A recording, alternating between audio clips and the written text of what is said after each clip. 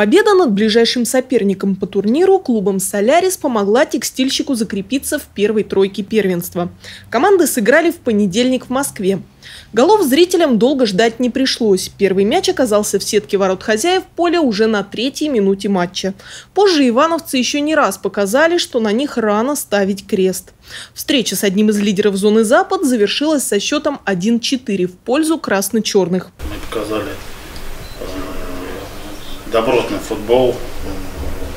Первый тайм нам в атаке очень удался, поэтому мы забили те мячи, довольно-таки красивые, хорошие комбинации.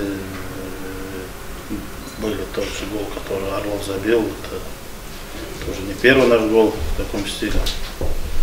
Поэтому положительная динамика, да, там дала. Следующий матч текстильщик проведет на домашнем стадионе в субботу 6 мая.